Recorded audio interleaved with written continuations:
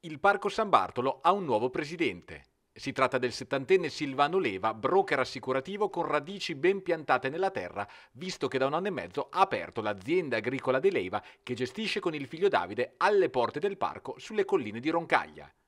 Leva succede alla presidenza di Stefano Mariani e la sua nomina arriva al culmine di una riforma della legge sui parchi che ha ampliato i consiglieri direttivi nominati dalla Regione Marche, non senza polemiche, attraverso l'emendamento approvato a fine dicembre dalla Regione con primo firmatario il consigliere pesarese Nicola Baiocchi.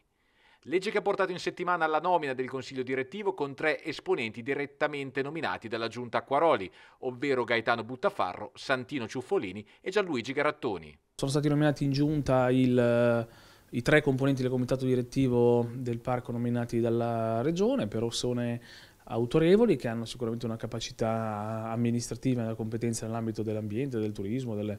di tutto ciò che ruota attorno al mondo del, del, Parco San Bartolo, un elemento, un parco fondamentale per il nostro comune, che sappiamo che chiude il comune di Pesaro, il comune, comune di Gabice, un parco che deve essere rappresentato nel miglior modo possibile, sono stati nominati anche i rappresentanti delle associazioni ambientaliste e, e degli agricoltori, nonché i rappresentanti del comune di Pesaro e del comune di Gabice. I consiglieri della regione sono stati determinanti nel voto verso l'EVA che ha trovato anche l'appoggio di associazioni agricole ambientaliste oltre che del comune di Gabice Mare. Gabice che si prende la carica del vicepresidente con la nomina di Matteo Sanchioni.